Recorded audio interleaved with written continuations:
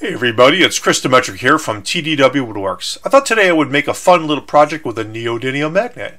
Now, for those aren't familiar with neodymium, neodymium magnets were formulated in the 80s and it's uh, uh, neodymium, iron, and boron.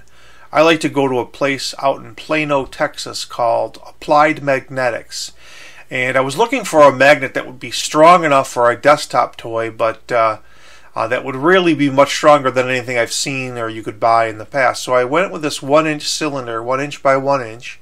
It's an N50, which is pretty darn strong. It's not something you want to get the kids to play around with. Once it's housed in the little container it's going to be in, it'll be perfectly safe. But price was good, and I ordered a bunch of these uh, smaller ones and this one larger one, and uh, we're going to make a little desktop toy.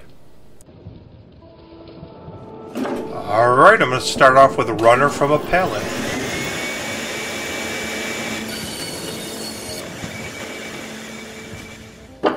Just cleaning it up there, pulling out the nails.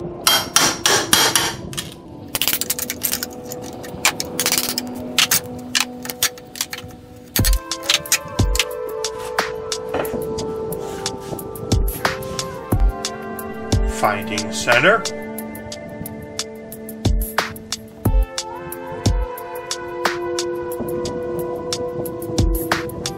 I set my depth to one inch.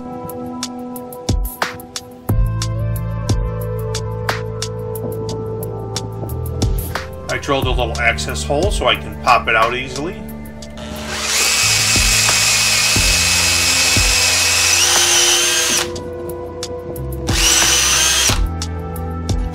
Alright, now let's get out a nice thin piece of plexi and mark it off so I can uh, I'll make a little top for this.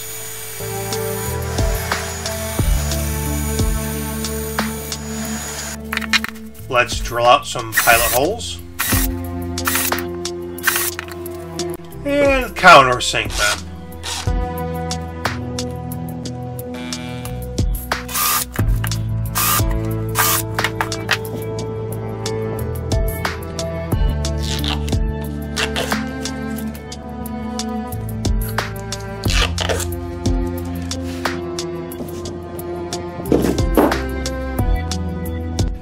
So this would be an N50 neodymium magnet, 1 inch by 1 inch. It's got about 112 pounds of pulling strength.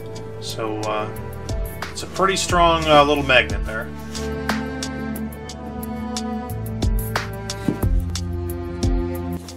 And on the bottom I put a little access hole in case I need to pop it out later.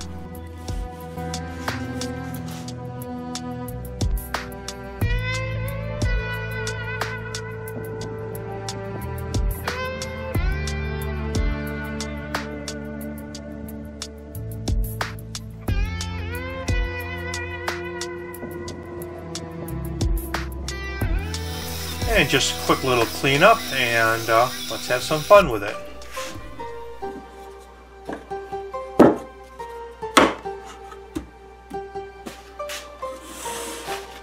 Alright, I thought I'd try some ball bearings. I've got a jar full of some uh, hex nuts and some of these larger ball bearings that I think we'll have fun with.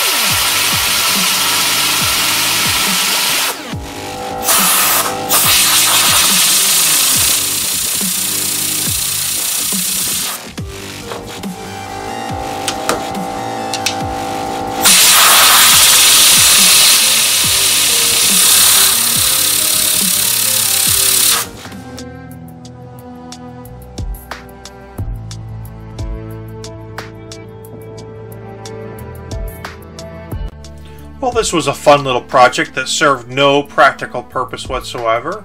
Um, just sitting at the desk doing tech support and something to play around with a few times a week. Uh, other than that, it's just kind of a cool, fun thing to do, playing around with some neodymium magnets. So, thanks for watching. This is Chris Demetrick from TDW Woodworks, and you have yourself a great day, and don't forget to subscribe.